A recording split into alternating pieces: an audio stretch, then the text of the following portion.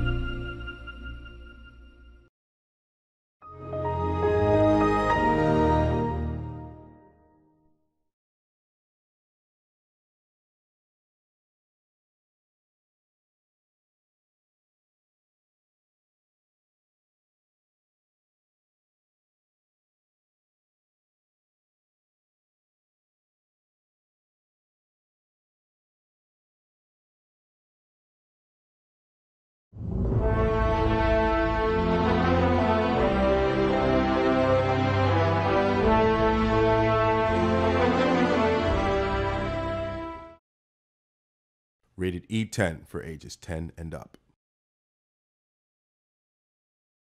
Rated M for mature.